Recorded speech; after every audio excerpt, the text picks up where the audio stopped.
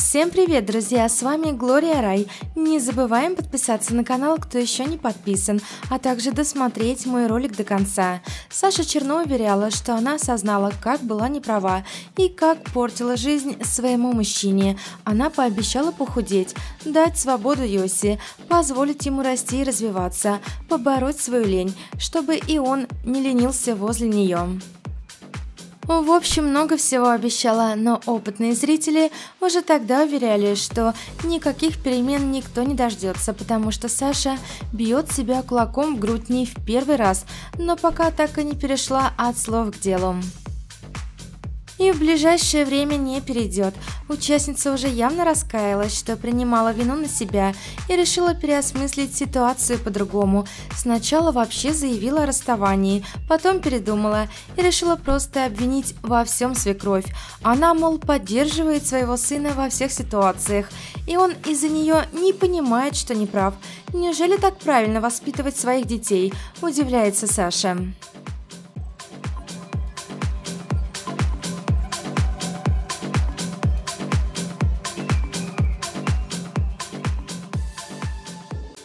Кстати, сегодня Черно заявила, нас больше нет. Мой муж не ночевал сегодня дома, соответственно, разбираться, где он и что, я уже не собираюсь. Очередная граница, которую он нарушил.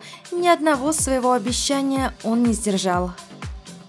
А Иосиф поделился, я до последнего пытался все сохранить, но, к сожалению, Саша, кроме себя, не слышит никого. Я устал доносить ей банальные вещи, которым она должна следовать. Стоит ли вообще возвращаться? Как бы сильно не хотелось, интересуется парень.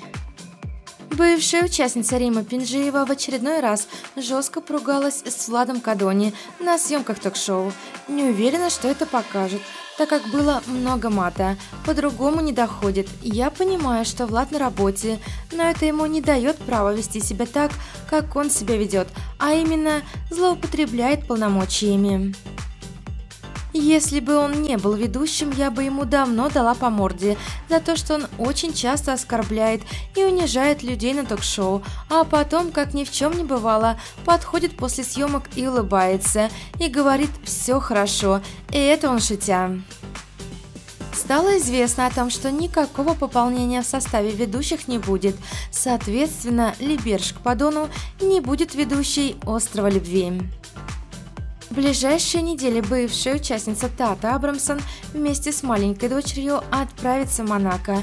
Ни для кого не новость, что в Европе Тата надеется не просто погостить, но и остаться на ПМЖ, тем более, что там ее ждет состоятельный ухажер-миллионер. Впрочем, девушка еще даже не переехала, а уже недовольна потенциальным женихом. В одном из недавних прямых эфиров Тата откровенно призналась в том, что ее устраивает бойфренде далеко не все. Более того, они частенько ругаются не скрывает от и грусти по поводу предстоящего отъезда. Еще недавно убежденная в том, что сможет легко обосноваться в чужой стране, теперь девушка настроена куда более скептически и опасается грядущих перемен. По словам Абрамсон, она не рассчитывает на гостеприимство ухажера и более чем вероятно, ей придется всего добиваться самой. Вот так новости. Мало кто верит в любовь и трепетные чувства Сергея Кучерова по отношению к ведущей Юлии Фременковой, что, впрочем, неудивительно, ведь подобные предположения хейтеров часто провоцирует сам выпускник «Дома-2», и недавнее видео, опубликованное Сергеем в сторис, стало отличным доказательством его равнодушия к Юлии. В коротком ролике Сергей просто разглядывал незнакомку с аппетитными формами. Так Кучеров дал понять, что может бесконечно наблюдать за спортивными девушками, которые качают попу в зале, и все бы хорошо, но Ефременкова даже рядом не стояла с витоняшками, хотя именно спортивные и накачанные девушки привлекают Сергея Впрочем, догадаться, почему Кучеров продолжает сожительствовать с Юлей, нетрудно. Ни для кого не секрет, покинув проект, Сережа так и не нашел работу в Москве. А значит, сожительство с Ефременковой для него вынужденная мера.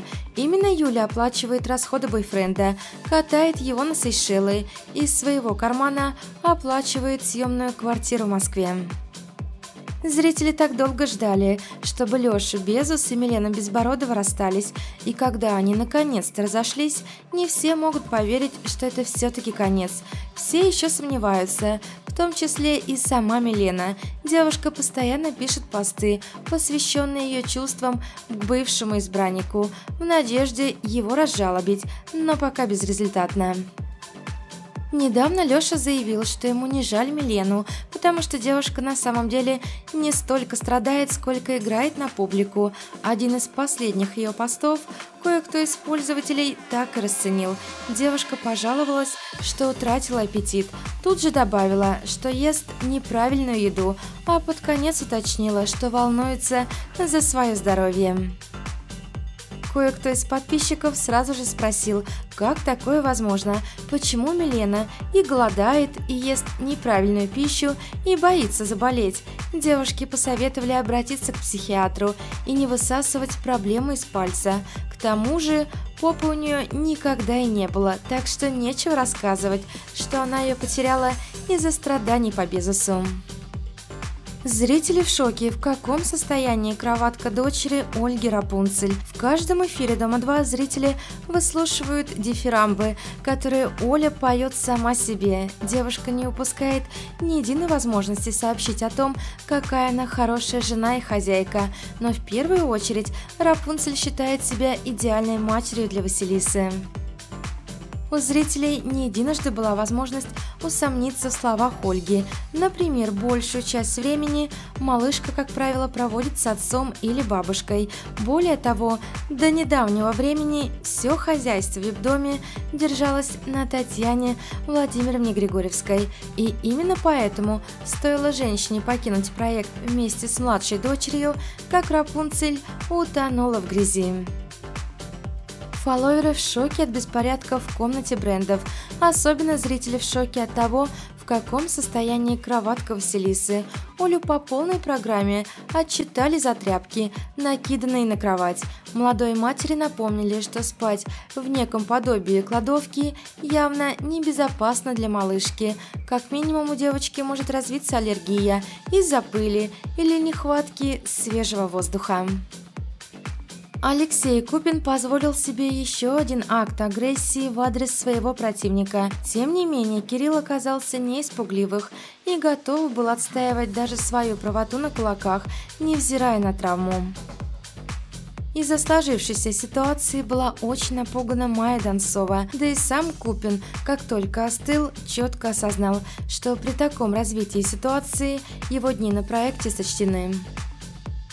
Помня о ситуации с Ольгой Сударкиной, Купин вполне может повторить ее судьбу, отправившись за ворота телешоу без копейки в кошельке. Например, многие помнят, что Игруновой удалось взыскать 300 тысяч рублей, а Сударкина была вынуждена влезть в долги, чтобы расплатиться по счетам.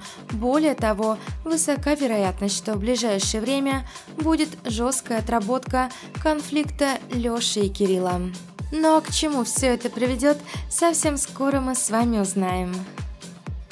Бывшая участница Анастасия Индальцева опозорилась на новом проекте. Настя отказалась от участия в «Дом-2» и отправилась в Польшу, где стала участницей польской версии реалити-шоу «Экс на пляже». И если некоторые ее подписчики решили, что таким образом девушка решила отмыть свою репутацию, то ошиблись. Получилось наоборот. По слухам из сети, Настя стала единственной, кто принял участие в нескольких потасовках. После одной из них ей несколько швов наложили на лоб. А также она стала первой, у кого было волшебство, после которого девушке было прямо сказано о том, что на большее она может и не рассчитывать, и в принципе никаких отношений с ней никто не хочет. Пока неизвестны дальнейшие планы Насти, но не исключено, что это именно та популярность, о которой она мечтала. В противном случае, зачем было вести себя на экс на пляже еще хуже, чем на Доме 2? Спасибо за просмотр. Рекомендую посмотреть предыдущие интересные ролики. Кликайте прямо сейчас, а также подписывайтесь на канал и оставляйте комментарии.